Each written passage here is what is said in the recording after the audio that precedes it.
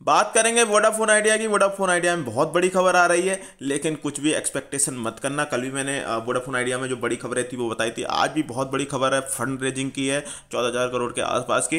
तो सबसे पहले फटाफट से चैनल सब्सक्राइब नहीं किया तो सब्सक्राइब कर लेना। Telegram channel free of cost है ज्वाइन कर सकते हैं। लिंक डिस्क्रिप्शन में मिल जाएगी पिन कमेंट में भी मिल जाएगी आपको। बहुत सारी चीज़ें मिल जाती हैं सीखने को। एजुकेशनल पोस्ट मिल जाती हैं एजुकेशनल वीडियो मिल जाती हैं, आप लोगों के क्वेश्चन के आंसर मिल जाते हैं।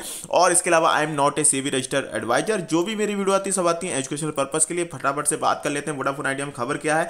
तो बोर्ड ऑफ़ डायरेक्टर मैंने बताया था कल मीटिंग थी फंड रेजिंग के लिए तो प्लान किया है चौदह करोड़ प्रमोटर से और काफ़ी अच्छी खबर है ये वोडाफोन के लिए और अभी सीधे सीधे चार्ट पे बात करेंगे। तो देखो पर्सनली मैं पॉइंट टू पॉइंट बात करूँगा। ज़्यादा इसमें फालतू की बातें करने से कोई फ़ायदा भी नहीं। देखो, अगर आप कॉन्ट्रावेट करना चाहते हैं, तब आपके लिए वोडाफोन आइडिया है और दस रुपये के आसपास मिल जाता है तो आप कर सकते हैं। और आज जैसे मार्केट में आपने देखा होगा गिरावट आ सकती है। क्यों आ सकती है? रसिया, यूक्रेन वाला जो कॉन्फ्लिक्ट है, पूरा का पूरा मार्केट में जब गिरावट आएगी तो चाहे कितनी बड़ी से बड़ी खबर हो, वो भी इसे बचा नहीं पाएगी। खबर इसमें बहुत पॉजिटिव है, पर इसे बचा नहीं पाएगी और नीचे ज़रूर आएगा।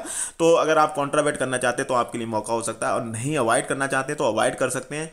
और सेक्टर में मुझे पसंद है एयरटेल और अगेन इन्होंने अब इन पे भी ऐसी कोई दिक्कत नहीं वोडाफोन आइडिया सर्वाइव तो ये करेंगे क्योंकि सरकार खुद से नहीं जाती कि डुओ पोली हो जियो की और एयरटेल की, क्योंकि सरकार ने फिर सभी सपोर्ट दिया था। एच आर डी उसके लिए इक्विटी डायलूशन भी कर दिया था वोडाफोन आइडिया वालों ने, दस रुपये के आसपास ही किया था तो अगेन दस रुपये के आसपास जा सकता है। आज भी कोई दिक्कत नहीं दिखती मुझे।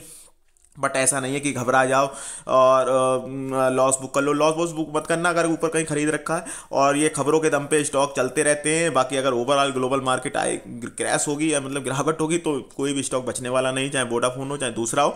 तो अगेन मैंने अपने व्यू बता दी है। वोडाफोन आइडिया मोटे मोटे इन द एंड आपकी मर्ज़ी है, आपका पैसा है फाइनेंशियल एडवाइस पूछ सकते हो, अपना व्यू बना सकते हो। सुनी सबकी करनी अपने चैनल पर चैनल को सब्सक्राइब कर लेना। वीडियो दोस्तों शेयर कर देना। जय हिंद दोस्तों।